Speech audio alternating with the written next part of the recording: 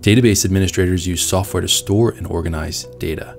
In this video, we will go over what database administrators do, the job market, what kind of money they make, as well as their starting salaries. And at the end of the video, we will cover the top five highest paying metro areas for database administrators. Coming up.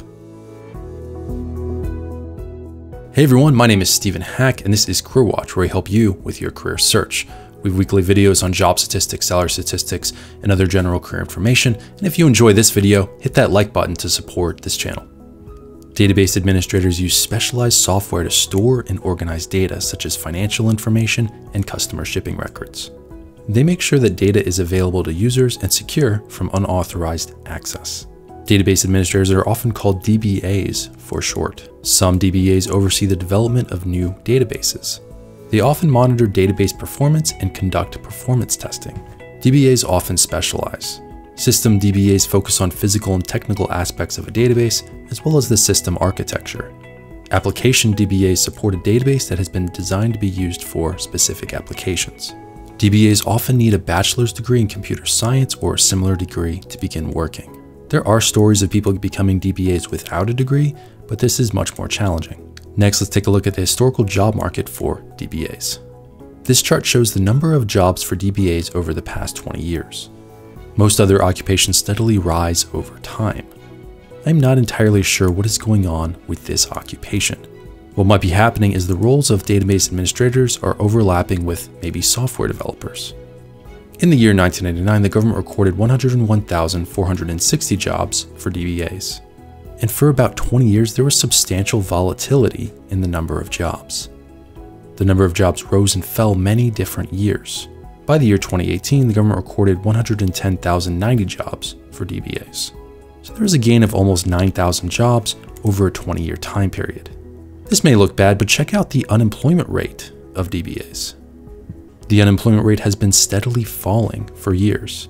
It hit a high of 6.6% in 2003 and a second high of 4.7% in 2009. Since then, the unemployment rate has been falling.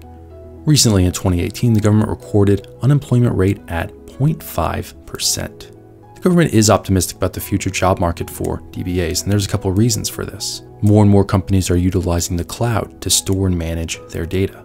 Database admins used to manage databases inside their company's servers. Now many are experts at using AWS, Google Cloud, or Microsoft Azure's cloud platforms. The question is, will this cloud use lead to an increase in the number of DBAs or a decrease? Will automation lead to a drop in the number of jobs? This chart is showing the anticipated job growth of DBAs and other similar occupations. The government is predicting an addition of 11,000 DBA jobs over the next 10 years. So they are predicting less job growth for DBAs compared to, say, cybersecurity analysts, system administrators, and software developers. Next, let's take a look at what database administrators earn.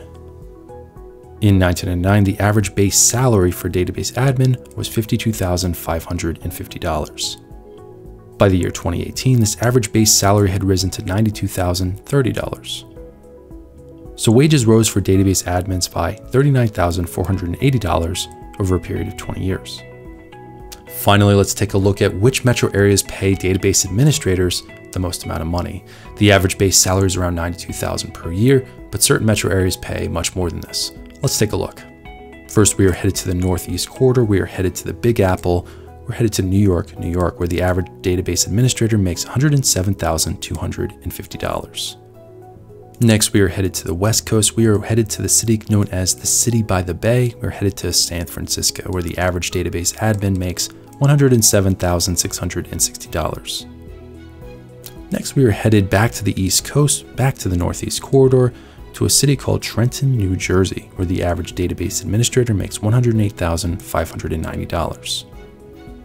Then we are headed back to the West Coast, south of San Francisco. San Jose, California is in our number two spot with an average base salary for database administrators at $110,240 and the number one city on our list is Bridgeport, Connecticut. Also located close to New York City, the average database administrator in Bridgeport earns $110,700. Are you interested in becoming a database administrator? Let me know in the comments below. Thanks for watching and I will see you next time.